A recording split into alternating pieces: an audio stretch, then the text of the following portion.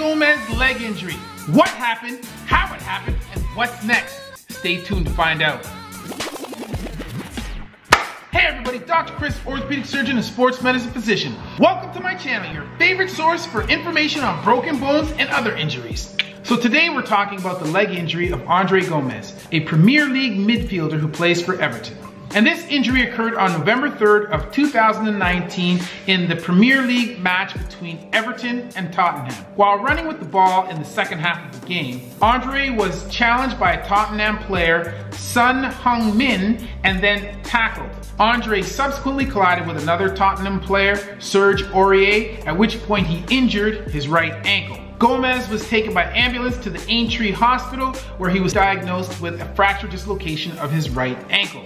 There's not too much video here to analyze, so it's kind of difficult for us to say exactly how this happened. But one thing that we can see from the video is that there is obvious instability of the ankle or looseness of the ankle after the injury. However, when we look at the pictures that we're taking during the time of and after the injury, we get a much better idea of exactly what happened. Basically, it appears as though he landed awkwardly when tackled by Son and then immediately had his foot and ankle stepped on by Aurier as his foot touched the turf. And from the picture that was taken at exactly the moment that he injured himself, we can see that the injury mechanism was likely a combination of pronation and external rotation of the ankle. The injuries that are usually associated with this injury mechanism include either an injury to the deltoid ligament on the medial aspect of the ankle or a fracture of the medial malleolus. This is then followed by injuries to the ligamentous structures on the anterolateral aspect of the ankle, including possibly the syndesmosis, which is the ligament connection between the tibia and the fibula, and then followed by a fibular fracture.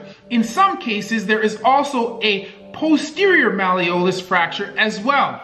So this is basically what we call a tri, trimalleolar, one, two, three, three-part fracture of the ankle. In addition, the external pressure of Aurier's foot, if a little bit higher up the ankle, would cause a bending moment at the distal tibia or the end of the big bone. And this would result in a simple transverse fracture of the distal tibia or a transverse fracture with a small butterfly fragment. It is not possible from the pictures or from the video for us to see the exact pattern of laxity that is occurring at Andre's ankle after this injury. So we're not able to say exactly what fracture pattern he has suffered. But at the very least, I would venture to guess that he had suffered a bimalleolar, if not a trimalleolar, fracture dislocation of his right ankle. Immediately following his injury, his ankle will need to be splinted in the reduced position to maintain stability at the joint.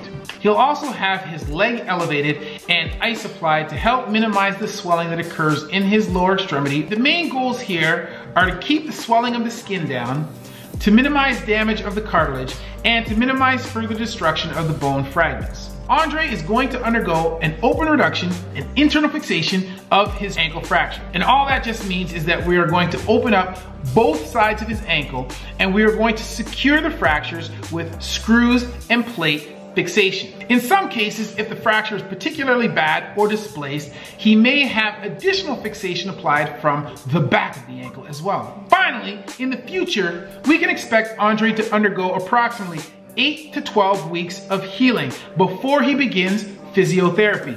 Once begun, he will require approximately 6 to 12 weeks of rehab, and we can expect that he might return to play in approximately 6 months' time.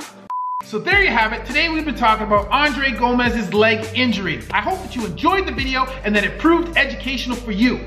Be sure to like, share, and subscribe. And as always, that's been a word from Dr. Chris, not your everyday ortho just a flesh wound.